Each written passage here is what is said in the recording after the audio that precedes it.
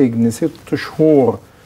آه انت قعدت في في في سجن واحد آه فوجئت ان انت بتقول لي أنا يعني قعدت في أكثر من سجن يعني. ليه؟ ما هو أنا ليه دي يعني الجواب عندها عنها عند يعني يمكن مصلحة أو إدارة السجون أو أنا مش قادر اعرف لأنه أنا آه، قعدت تقريبا في خمس سجون. يعني خمس سجون في آه، الست شهور. في ست شهور. و... وكان حتى.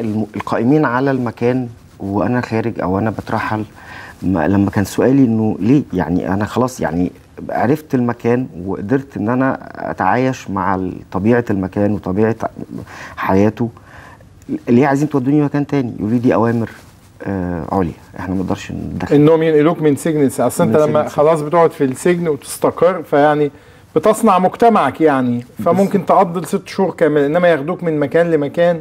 ده ده كان شيء يعني بالنسبة لي كان أصعب من ال يعني أصعب فترات ال ال ال- الحبس إنه آه، بتدخل من عالم لعالم. لأن كل مكان ليه آه، حياته وليه مواصفاته وليه وليه كمان الأوامر اللي لازم تتع تع- يعني تتعود عليها وتبقى بتنفذها. يعني في سجون آه.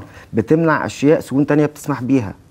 مش بتكلم على حاجة آه، ممنوعة. يعني أساسا كل الحاجات آه مش ممنوعة. ي- يعني لا إن إنما في قواعد بتختلف من هنا لهنا يعني قواعد وتعليمات بتختلف. بتختلف. التعليمات بتختلف من كل مكان للتاني. فكل مكان ليه طبيعة. وإذا إذا يعني إذا يعني ارتحت في مكان أو حسيت إن أنت تقدر إنك تمارس حياتك فيه للفترة ال- ال- ال- المفروضة عليك بتفاجأ بإن أنت في ثانية بتبقى مفيش وهم ما بيدوش أي يعني أي علامة لأن أنت هت ماشي كمان ساعة مفيش هي جهز حاجتك هتطلع دلوقتي.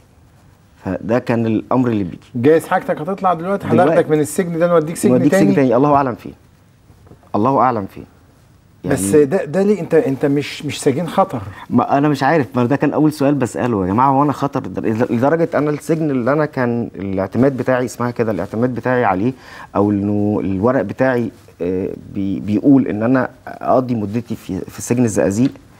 آه، في سجن الزقازيق الحقيقة كانوا قاعديني في مكان آه، غاية الصعوبه انفرادي في في غرفة الدواعي الأمنية. في سجن الزقازيق. في سجن الزقازيق. انفرادي يعني مفيش معاك انفرادي أوضة أوضة مفردة آه، متر في متر ونص تقريبا. آه، في الغرفة مكتوب عليها دواعي أمنية. الدواعي الامنيه دي اللي أنا أعرفه إنه بيبقى الناس الخطرين أو بيبقى في آه، خصام بينهم وبين ناس جوه السجن. فممكن يبقى فممكن بدل ما يبقى في- خناقات فتعالى اعزله فده زي العزل. فدي كانت بالنسبة لي اللي هي المكان اللي أنا المفروض أقضي مدتي فيه كان سجن الزقازيق ده كان الأساس فيه. آه بس الحبس الانفرادي ده قعدت فيه قد إيه؟ ده ما هو ده ده تقريبا آه، يعتبر ثلاث شهور غير يعني أنا وصلت له بعد شهر من ال من شهرين. أول أول سجن كان سجن الطور آه. اللي هو اللي تابع للواقعة. يعني اللي تابع ل آه عشان أنت. الواقعة كانت جنايات شرم الشيخ. في جنوب سيناء آه, آه. آه شرم الشيخ ما فيهاش سجن. الطور هو اللي فيه آه، مدينة, مدينة سجن الطور. آه.